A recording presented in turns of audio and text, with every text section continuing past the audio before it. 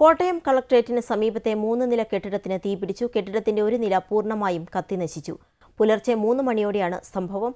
അഗ്നിശമന സേനയെത്തി തീയണയ്ക്കാനുള്ള ശ്രമം മൂന്ന് മണിക്കൂറോളമായി തുടരുകയാണ്. പത്തോളം യൂണിറ്റുകൾ തീ നിയന്ത്രണ വിധേയമാക്കാനുള്ള തീവ്ര ശ്രമത്തിലാണ്. കണ്ടത്തിൽ റെസിഡൻസി എന്ന കെട്ടിടത്തിലാണ് തീപിടുത്തം ഉണ്ടായത്. സൂപ്പർമാർക്കറ്റും തുണിക്കടയും ലോഡ്ജുമാണ് കെട്ടിടത്തിൽ പ്രവർത്തിച്ചിരുന്നത്. താഴത്തെ നിലയിലുണ്ടായിരുന്ന സൂപ്പർമാർക്കറ്റ് പൂർണമായും തുണിക്കട ഭാഗികമായും കത്തിനശിച്ചു മുകളിലെ നിലയിലുണ്ടായിരുന്ന ലോഡ്ജിൽ നിരവധി ആളുകൾ ഉണ്ടായിരുന്നു. ഒരു ജ്വല്ലറിയുടെ ഉദ്ഘാടനം ഇന്ന് നടക്കുന്നതിനാൽ ലോഡ്ജിൽ കൂടുതൽ ആളുകൾ റൂമുകൾ എടുത്തിരുന്നു. പുലർച്ചെ പുക കണ്ടതിനെ തുടർന്ന് ഇവരെ എല്ലാവരെയും താഴെയിറക്കി ആർക്കും പരിക്കില്ല.